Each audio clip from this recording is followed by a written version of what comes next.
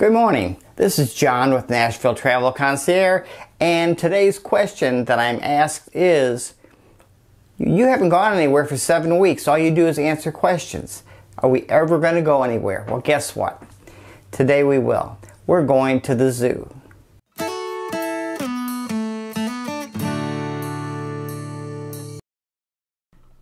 And here we are driving towards southwest Nashville. And if you look on your right, you'll see the skyline of, of Nashville. And you can actually see the Batman building in the center there.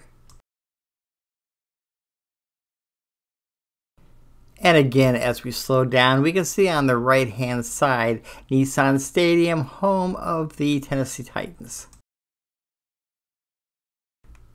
You're watching this on the Byakov dash cam that I received for Christmas this year. This is a 170 degree uh, car cam with night vision. It has a parking monitor and a loop recording system. I am placing my Amazon affiliate a link below and if you check it out you'll be amazed at the price at times like these, it's nice to have some sort of recording to show what's going on around our vehicle.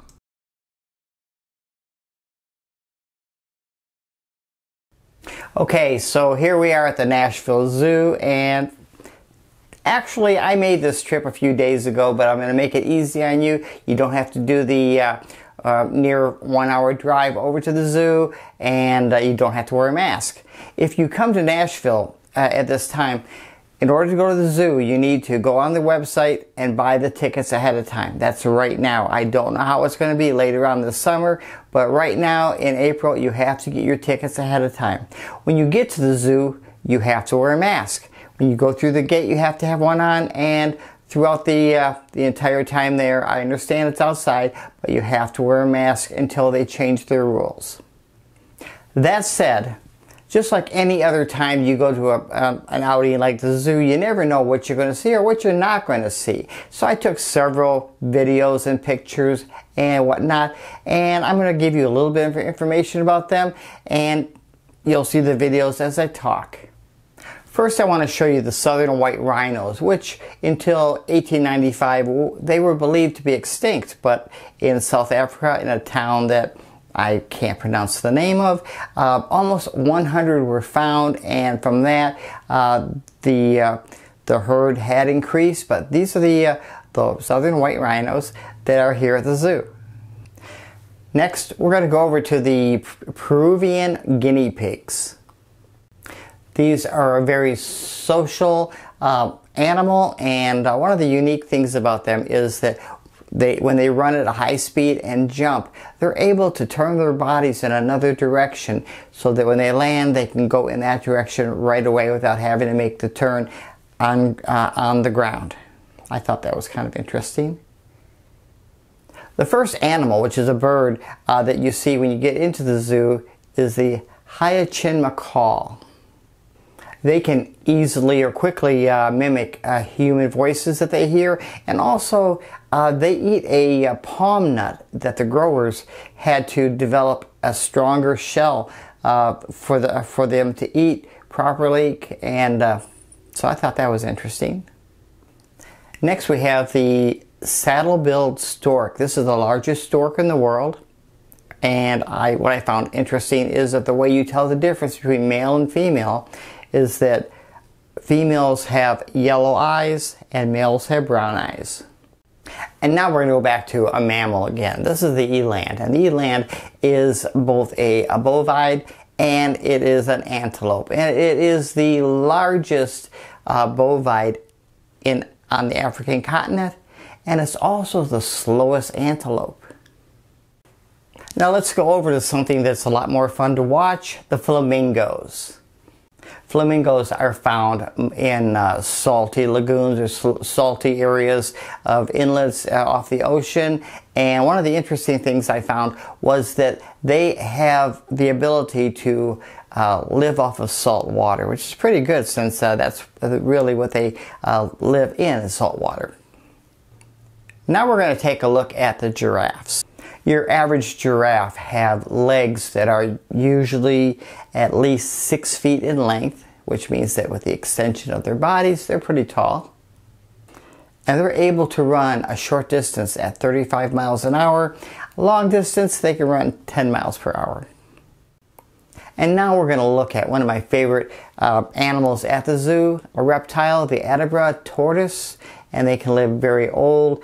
Uh, some have lived up to 250 to almost 300 years. Here's another one of my favorites, the meerkats. They're adorable and uh, they have uh, several different uh, places at the zoo. Same location, but different angles you can look at them. And they're not afraid of people at all. They'll come up and they'll look at you. They just stand there. They're cute. And, and they have retractable claws that they use to dig in the earth and to grab things.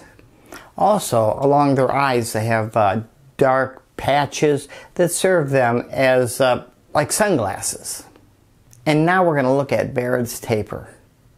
And uh, tapir is a Brazil Brazilian Indian word that means thick. The national animal of Belize is a female Baird tapir named April. Now let's go over and look at the red kangaroos. They have a section in the zoo set aside that you can actually walk uh, through the section and you're you've got kangaroos to your left and to your right and uh, certain times of the day, of the day uh, they'll come up to you and uh, let you pet them and uh, they're more active than other times of the day you'll see in uh, some of my videos how they're kind of laying around doing doing nothing. It's hot. And but if you get there about nine o'clock in the morning, between nine and ten, and go right there, uh, they're a lot more active. And now we're going to look at another bird, the Rhinoceros hornbill. The hornbill is important in Malaysia because they are one of the chief seed spreaders uh, throughout the country. Another thing I found interesting about the hornbill is that they normally they mate for life and when they have young they will seal them up in the nest and provide them with food until they feel that their young are old enough to uh, go out into the world. And coming up now we have the Andean bear, which uh, is one of the smaller bears uh, that exists. They are about five to six feet tall and weigh probably no more than 340, 350 pounds.